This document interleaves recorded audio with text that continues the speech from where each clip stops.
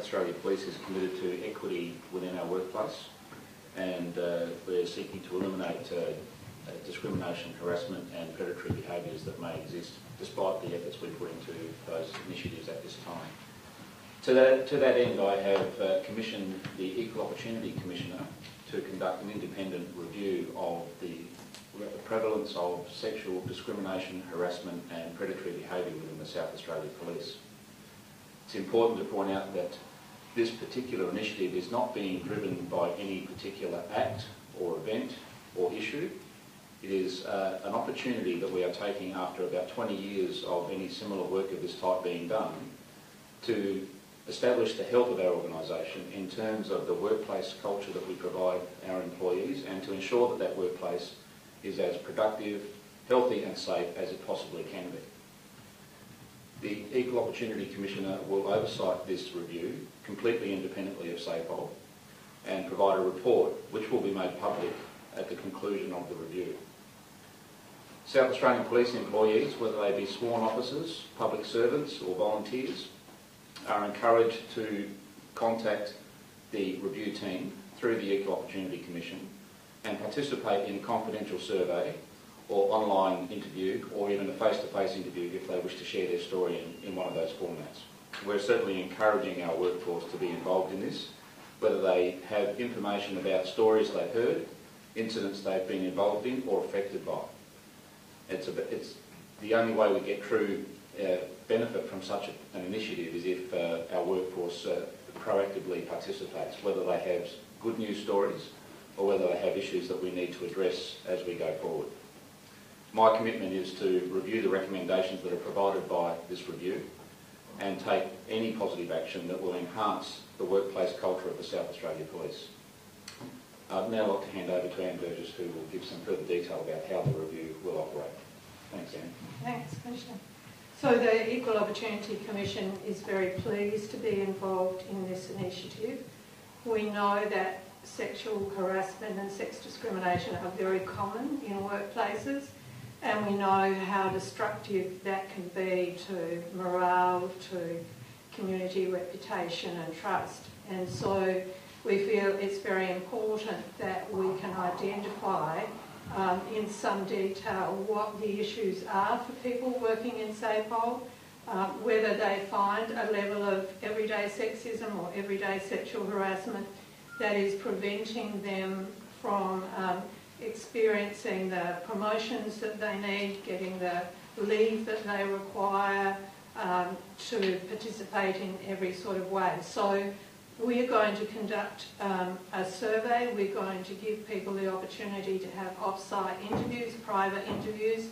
We know that it's really important to make sure that this is done in an independent way because people are often very reluctant um, to talk about their experiences in the workplace. They feel like if they put their head up, um, they get it chopped off and their career suffers because of that.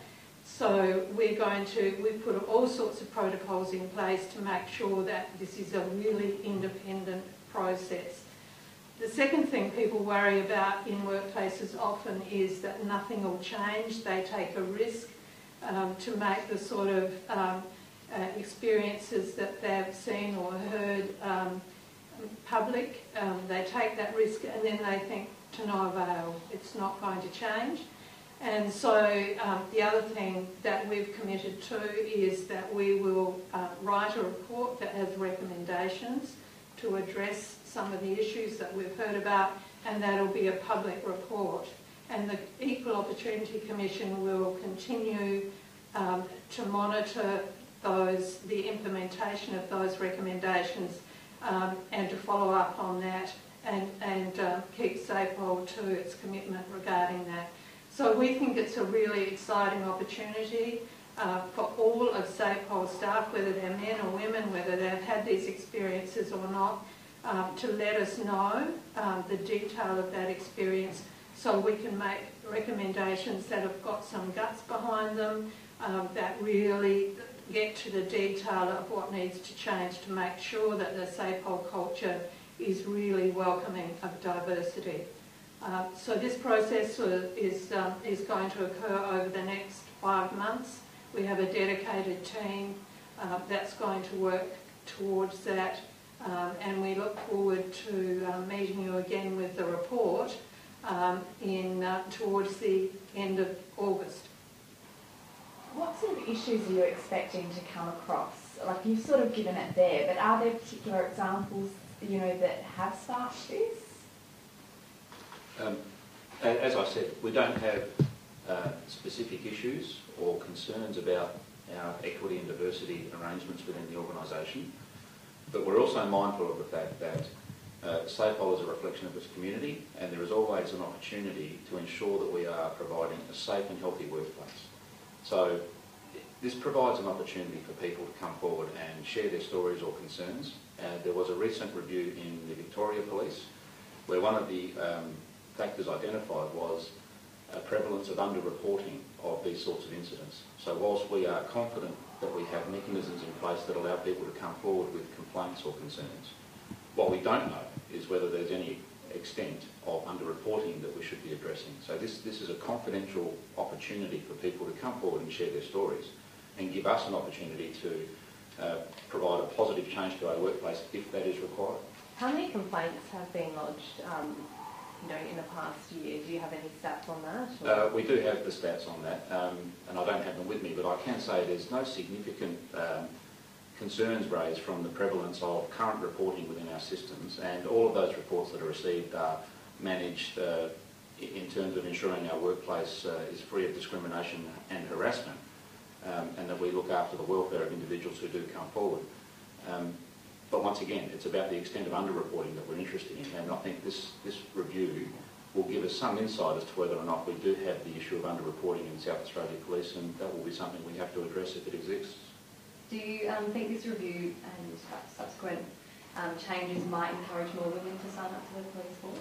Well, that's, that's another important point. Um, I've made clear my intentions to uh, provide a gen- gender equity focus within our recruiting structure and to recruit 50-50 men and women. I need to know that I'm inviting men and women to join a workforce that respects diversity, uh, provides a safe and healthy working environment. So this is, uh, this is an element to that, to ensure that what we're providing as, as an employer is an employer of choice that looks after its employees.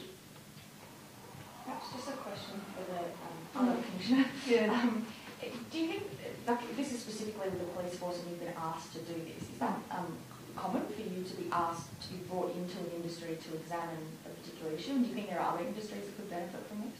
Absolutely, and it is quite a common thing. I think um, a number of organisations, as I said, are trying to modernise the way that they deal with diversity in their workplace. And what we know is that often there's, there's a bias that can be unconscious as well. Um, cultures start to reflect um, some sort of bias, and, and by having an external view, you can often identify what that might be to get to the bottom of that and to help people change their behaviours so it's a more accepting environment. So it is, um, it is something that the Commission takes on. We do a lot of training in organisations, so um, and sex discrimination, sexual harassment is part of our everyday living in the EO Commission, unfortunately. So have you done reviews like this, because you're saying you're going to release public recommendations, so do you do that sort of thing with other industries? Have you done that recently? Um, not recently that I that I can talk about, um, but it's not it's not an unusual event. Sure. And just the mechanics of it, the timing, said you're likely to report around August. So can people come to you at any point up to then, or? So the the review the um, review over the next month will be getting out and talking to people in SAPOL in every every sort of um, environment we can to let them know what's happening. Um, following that, there'll be um, a confidential online survey, and we'll set up interviews um, over that period. Um, and we will then um, look at what we need to report, how much time we need to take to draw that information together. Um, but that's the sort of timing we're expecting. Don't hold us to that just yet because this is day one and we've got a lot of work to do. Um, just another question for you. Sure. Um, it's something different. Um, one of your officers overnight, he seemed to avert a possible disaster at a petrol station. Just wondering if you were happy to comment on his actions, what you made of it. Uh, I don't have the specifics on those particular actions, um, but I think it's uh, admirable that uh, he was able to prevent any serious injury, which is obviously a, a good thing. It's been a year since the Chloe Valentine findings, and one of the outstanding changes is that agencies need to work together better, and it's something that's sort of in the domestic violence field being highlighted as something that's being done really well, but in child protection not so much. What do you make of that? Uh, I'm a strong advocate for uh, agencies working together, uh, collaborating to ensure that we are providing the level of service the community expects.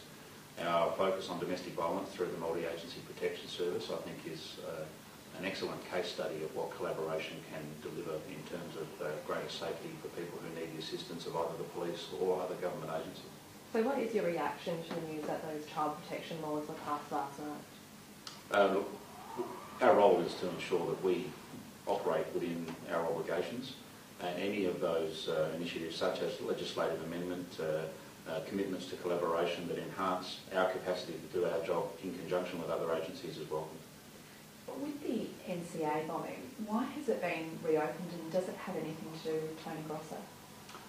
Uh, the, uh, the NCA bombing review has been going on for some time and as with any uh, unsolved crime or a re- an incident where we don't have a resolution, we are continually reviewing and we've recently put some resources into a review of the NCA bombing and we're at a point now where we believe um, it's warranted to advise the community that that's what's occurring and uh, we're hopeful that we can um, come to a conclusion with that that uh, produces a result. Have you had many more calls?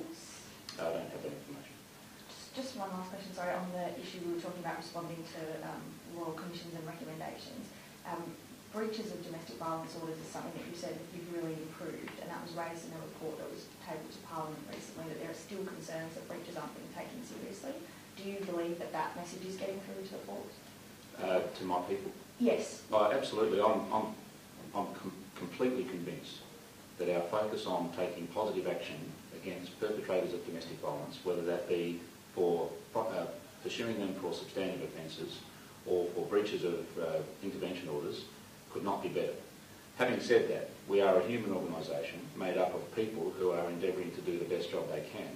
And there will be occasions when uh, it might be the case that more could be done. So we are continually reviewing the level of service we provide, and I don't know the specifics about those concerns where it's been raised that uh, police aren't doing enough in terms of intervention orders.